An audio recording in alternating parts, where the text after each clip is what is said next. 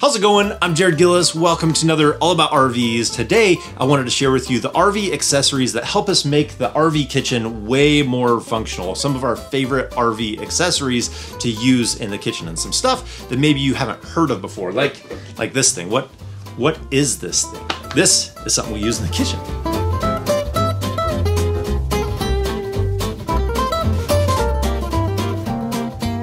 So to start off today, one of the biggest things that we did in our kitchen, we did this really early on from getting our RV to make our kitchen more usable for us was to get rid of the microwave. Now that might be controversial for some, but for us, we've been living without a microwave for I don't know, over 10 years, and we prefer it. So, what we prefer to use instead of a microwave is the toaster oven air fryer. Now that they've had air fryers out there, we have a lot more function inside of this space to be able to get a lot more out of it. So for us, this was removing something that we weren't going to use, the microwave, and now having multiple functions inside of that space that we use and prefer to use. So uh, we're able to make toast in the morning, uh, we're able to bake things in there, and that air fryer option is just fantastic. We use that all the time, especially when we're connected to shore power. It's just a great, easy way to be able to warm up food or prepare the food that you have inside of that. And this one has worked fantastic. We've had it for over a year and we haven't had any problems with it. So now, since the air fryer toaster oven is smaller than the microwave was, we have more space in that area. So this is where we keep our electric tea kettle. And that comes in really handy for making a coffee or tea. And we use it to help boil water. So rather than trying to boil cold water using the propane, if we're connected to shore power, we'll fill that thing up, heat up the water, and then we can put it in a pan and water is boiling in the fastest time we possibly can inside of the RV. So it even helps preparing meals using that tea kettle up there. It helps us prepare the meals faster, and if it's hot in the summertime, it's an easier way to heat up the water rather than heating up the entire RV with having that flame in there the whole time. So it helps us with that too. Now, this next one we heard about from reading our comments in past videos, which I love. I love when people are able to put other advice or tips or comments down there that help other RVers. So uh, this is a reminder, if you have something that you love to use in your kitchen that makes it very functional and one of your favorite things, uh, put that down in the comments below. So this right here is the Splatter Dome and it's collapsible, which makes it really nice to use. But the thing that this is really nice for is to help keep your kitchen cleaner because uh, if you have stuff splattering out of a pan and it's getting all over the cooktop, that's much more difficult to clean, especially when there's multiple layers. But if you have this dome that you can put on there, you can keep that splatter to a minimum and it's gonna catch all that. So when we're cooking bacon or something like that, and we're just making a little bit, uh, this works out really well to help contain some of that splatter. And it has a lid. So if you needed to cover it, you can use that lid to cover it. So this works for two different sizes. This has the larger ring on the bottom and the smaller ring at the top, and that can just fit right on there to help contain that splatter. And one of the reasons that I like this is because you don't have to remove that splatter containing device in order to still get to your food. You have a lid and you can remove that and you can still get down in there if you're flipping the bacon or something like that. It's still going to be catching that splatter on the sides of the walls and you can still cover it. So it kind of solves a lot of problems. You have these handles for being able to put it on if it's already a, a hot skillet or something like that. Uh, but if you're sauteing things and you want to keep things cleaner, this is a handy little device that collapses. You can make it that tall or as tall as you need. So comes in fairly handy. Now, the next thing on our list is having some type of a blender. We use this for making smoothies. We love to be able to make smoothies inside of the RV. This was a good size for how powerful it is, and it works well for us. We had the Vitamix years ago, and that thing you could practically put a brick in and it'll grind it up. But this works well with the power and the size for being in the RV and making those smoothies. Now, I'm gonna take a little break and I'm gonna show you what my favorite recipe for a smoothie is. Try and keep up because it's pretty complicated. The first ingredient is getting frozen bananas. So we have frozen bananas in the freezer. Number two is an Orgain protein shake. And number three is some peanut butter. We add in our three amazing ingredients and then we just turn on the Nutri Ninja. Let it mix up and that's it. That's as simple as the smoothie is. Okay, obviously it's pretty easy to make, but still really good. The bananas weren't frozen enough. I only put them in this morning. Usually I put them in the night before, but still a great smoothie.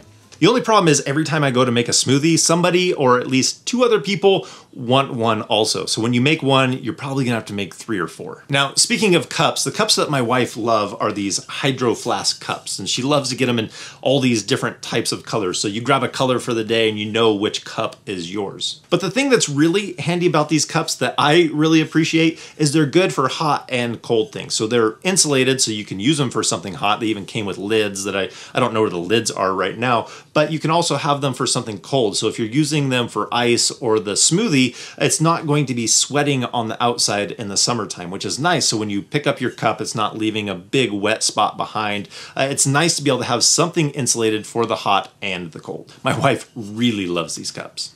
Now, talking about things that are hot and cold, now this is something that should be very hot, which is your oven. And this is very practical to be able to get a thermometer that you can use inside of your oven. Oftentimes, people will put the stones or something in there to help that heat disperse, which is a, great tip. But a tip to be able to use a thermometer inside of your oven is going to be ideal because they are often off by quite a bit. Ours was off by like 100 degrees, and so when you're going to bake a cake or something like that, if you're off by that much, it's not going to bake how you would expect it to. So using a thermometer that you can look at inside of the oven will really help you dial in those temperatures and use the oven that much more effectively. We use our oven all the time, and having that information just just helps you use it.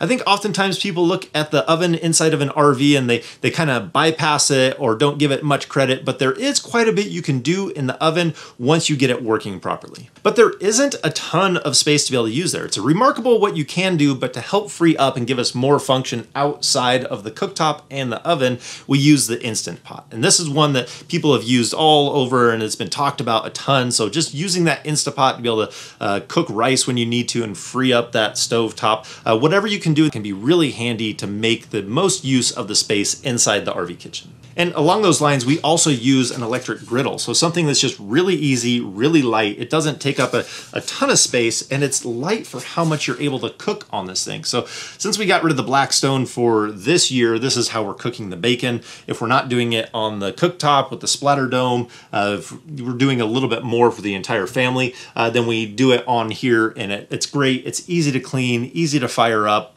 fire up, it's actually electric. So there's no fire. So using this is really simple. Definitely an asset to have in the kitchen.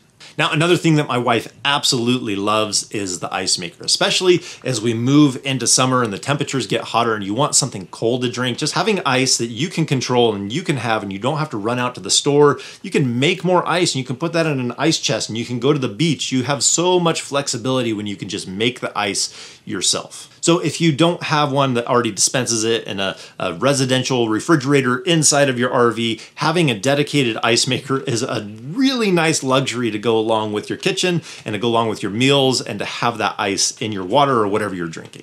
Now, two things that we have installed in the kitchen. Number one, we have the paper towel holder. And the one that we have, it is kind of tensioned. They're easy to pull off the paper towels, but it's tensioned so when we drive down the road, we don't have to worry about them unraveling. And it's not something extra we have to do on a travel day by putting Velcro around them or a strap or taking them off the paper towel holder. We can just leave them there. They're not going to unspool and they're going to be there when we set up at the next location and ready to use. Now, the other thing that we absolutely love in here is the RO system because it's one of the best ways that we have found to treat our drinking water. And after testing several systems, uh, this is by far our favorite. And this RO system actually has the remineralization in there. So it takes out so much out of the water, all the chemicals and the, the chlorine, the fluoride, the just all the stuff that is in there. And then it adds the minerals that we should be drinking when we're drinking water back into it so that we know that we're always getting good, clean, consistent water that is healthy for us. Now we have our water filtration system that comes into the RV, but this takes it that step above and beyond uh, to where we always know we're going to get consistent, healthy water, whether we're at an RV park that has a well or if we're at a municipality that uses a lot of chemicals.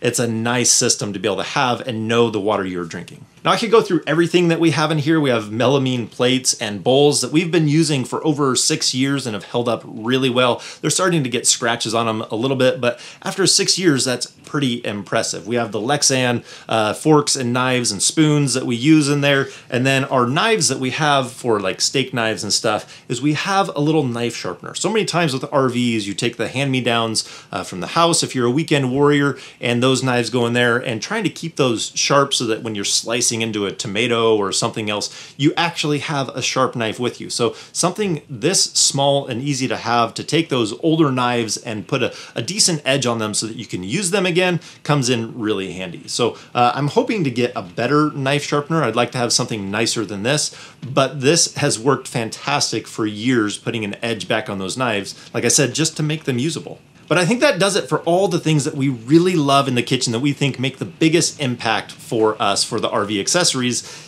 in here. So I think that's gonna do it for today. Like I said, please leave a comment down below. I love to be able to read those and other people that are RVing to get those ideas and tips that maybe weren't covered in this video that can go that much further for them enjoying their RVing experience. So like I said, that's gonna do it for today. If you guys like this video, give it a thumbs up. If you wanna see more videos about RVing, hit that subscribe button. And if we don't see you on the road, hopefully we will see you next video.